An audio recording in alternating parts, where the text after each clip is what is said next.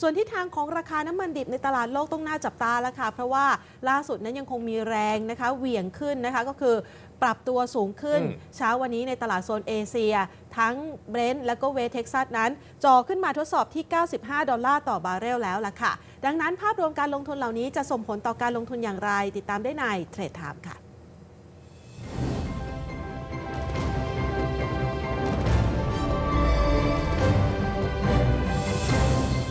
เทรดไทม์เช้าวันนี้นะคะ พูดคุยกับคุณประกิตศิริวัฒนาเกตกรรมการผู้จัดการจากบริษัทหลักทรัพย์จัดการกองทุน Merchant Partner ค่ะ สวัสดีค่ะ คุณประกิตค่ะสวัสดีครับพี่ปิง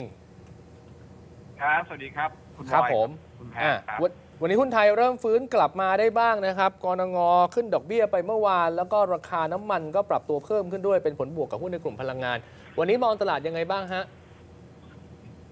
ก็ในวันสองวันนี้เราควรต้องฟื้นกลับมาแล้วนะครับ อ่า ก็ ก็ถือว่าวันนี้บวกก็มาได้ตามคาดก็ดีแล้วนะครับครัเพบราะว่าการขึ้นดอกเบี้ยของกรงเนี่ยก็ถือว่าเป็นการขึ้นครั้งสุดท้าย อืม และผมเดาว่าที่เราปรับลดลงกันไปก่อนหน้านี้เนี่ย ก็มาจากเรื่องความกังวลว่ากรงจะขึ้นดอกเบี้ยอีกดอกหนึ่งนั่นแหละ อืมนะครับนั้นเมื่อเมื่อเมื่อเมื่อมีความชัดเจนว่าขึ้นครั้งนี้นะก็ไม่แปลกใจที่หุ้นจะเอ่อเหมือนกับพบจุดต่ำสุดในช่วงระยะสั้นนะครับจากนี้ก็มีโอกาสฟื้นตัวขึ้นมาได้ครับ ไม่มีปัญหาอะไรครับ อืม ค่ะ จังหวะของการฟื้นตัวนี่เราคาดหวังมากน้อยแค่ไหนคะ โอกาสที่จะกลับมาดี คือตอนนี้เนี่ยนักลงทุนส่วนใหญ่น่าจะติดหุ้นกันอยู่นะคะ ขึ้นมาอยู่สักประมาณ 1,500 ต้นๆนี่อาจจะไม่พอ เรามองไปไกลได้แค่ไหนคะ ผมว่าเหมาะมีพื้นที่ให้เราได้ลุ้นระดับหนึ่ง นะครับอย่างแรกเนี่ยตลาดหุ้นสหรัฐก็มาจุดที่จะเกิด technical rebound แล้วด้วยเหมือนกันครับ แปลว่าบรรยากาศต่างประเทศอาจจะเริ่มเบาเบาๆลงบ้างนะครับ อย่างที่สองเนี่ยแรงกดดันจากเรื่องของเออปัญหาเครดิตในอเมริกานะครับ bond yield ที่พุ่งขึ้นเนี่ยเมื่อคืนเนี่ยก็ปิดปิดปิดขึ้นไป 4.6เปอร์เซ็นเนี่ยผมเชื่อว่ามีโอกาสที่จะเริ่มนะฮะเริ่มแผ่วเริ่มแผ่วลงมามากขึ้นนะมันยังไม่มีเหตุที่จะต้องขึ้นไปได้ใกล้ๆห้านะครับอะเมื่อเริ่มแผ่ว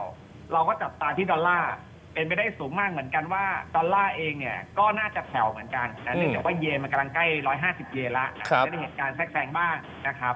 นี่กลับไปที่เมืองไทยว่าต่างประเทศอะไม่ใช่ตัวปัญหา เหลือแต่ในประเทศนะครับเพราะในประเทศเนี่ยดอกเบี้ยจบไปแล้วแรงกดดันที่ที่หนักที่สุดก็คือเรื่องดอกเบี้ย แต่ว่ามันมีที่น่าสังเกตก็คือกรงเนี่ยมองว่าปีหน้าเนี่ยจะ 4.4เปอร์เซ็นถูกไหมครับ ทีเนี้ยมันจะ มันจะกลายเป็นหัวหมูทุลวงฟันว่าก่อนหน้าเนี้มันไม่มีใครมองว่าปีหน้า GDP เราจะเกิน4ได้เยอะ ครับ แต่พอกรงเปิดมาแบบนี้เนี่ยเราจะได้เห็นทุกๆสำนักเนี่ยอาจจะมีการปรับคาดการณ์ GDP ปีหน้าขึ้น ความคาดหวังว่า GDP ปีหน้าเราจะมีการเติบโตที่แรงกว่าปีนี้ มันจะอาจจะเป็นแค่ประเทศเดียวในโลกเลยนะฮะหรือไม่กี่ประเทศเพราะว่าเออปีหน้าโลกเนี่ยจะเติบโตก็แผ่ช้าวลลงงเทียบกับปีนี้เออครับ นะครับผมหลายๆหลาย ๆ ประเทศเป็นการแผ่วมีแต่เราเนี่ยที่จะโดดเด่นสุด ฉะนั้นแล้วอะ แรงหนุนตรงนี้มันก็จะมีเข้ามาเหมือนกัน แล้วผมคิดว่าอีกเรื่องหนึ่งเรื่องสุดท้ายเลยก็คือถ้าไม้ตายนะครับถ้าไม้ตายก็คือเมื่อไหร่ก็ตามที่รัฐบาลสามารถชี้แจงออกมานะครับ มีความชัดเจนเรื่องของ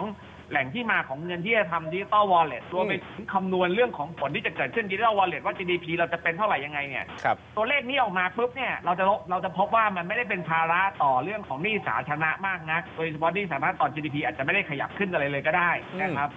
อะมันก็จะทำให้เราคลายความกังวลบาทซึ่งอ่อนๆอ่อนๆตอนนี้จากความไม่ชัดเจนของนโยบายการคลังเนี่ยมันก็จะพลิกกลับลงมาแข็งได้บ้างหุ้นเนี่ยมันก็จะไปเพื่อตอบรับกับเรื่องของการคาดการณ์เศรษฐกิจในปีหน้าได้ ครับ ทั้งที่ตอนเนี้ยจริงๆแล้วอะไอ้จะมีพันห้าเนี่ยมันก็คือเป้าหมายขึ้นปีปีนี้นะฮะแต่เราอะจะไม่มองปีนี้กันแล้ว เราจะไปมองที่ปีหน้า แต่ความเชื่อทำไมแล้วแล้วทำไมก่อนหนั้นนี่มันยังไม่ขึ้นมา เพราะเรายังไม่เชื่อว่าปีหน้ามันจะดี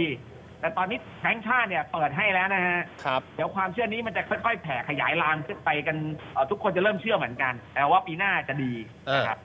อะฟังพี่ปิงแล้วเริ่มคึกคักแล้วครับ แบบนี้เราแนะนำ นักลงทุนช่วงนี้ยังไงบ้าง ทยอยสะสมหุ้นเพิ่มเติมโหลดหุ้นโหลดกระสุนเพิ่มเติมเลยไหมฮะ ก็มันมันณเวลาเวลเนี้ยมันต้องกล้าเอาแล้วล่ะครับ ต้องเอานะฮะถ้าจะเอาให้เซฟๆเนี่ยผมว่าต้องเอาคนที่จะได้ประโยชน์เฉพาะหน้าเนี่ยแบบชัดเจนนะครับ เช่นกลุ่มนิคมอุตสาหกรรม อันเนี้ยเต็มๆนะฮะเออ พวกอมตะพวก WHA หรือที่เกี่ยวข้องกับนิคมก็ได้ WHAUP เอยหรือจุฬาโรงพยาบาลจุฬารัตน์เอย CSP เอยพวกนี้เนี่ยครับมันต้องมีไว้ในพอร์ตอืม นะครับลองลงมาเขาก็จะเน้นพวกแบบพวกเอ่อเรื่องของ consumer demand นะครับ domestic demand เราอาจจะเน้นไปที่ ADVANC อย่างเงี้ยก็สามารถเอาได้นะครับ รวมไปถึง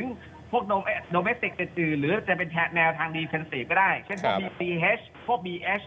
ก็เก็บเก็บเก็บเก็บเก็บกลับเข้าพอร์ตนะแต่ยกเว้นพวกกลุ่มค้าปลีกอะผมยังไม่ค่อยกล้ามากนักนะฮะด้วยความที่นโยบายมันไม่ชัด แล้วเราไม่รู้ว่ากลุ่มค้าปลีกจะได้ประโยชน์จริงๆไหมอาจจะอาจจะวางไว้ก่อนนะครับ ก็ครับไปเน้นอื่น ๆที่มันจะได้แน่ๆนะครับโอเคได้ครับ วันนี้ขอบคุณคุณประกิตนะครับ ขอบคุณค่ะ สวัสดีค่ะครับสวัสดีครับคุณบอยสวัสดีครับ ก็เป็นคำแนะนำนะครับ จากคุณประกิตที่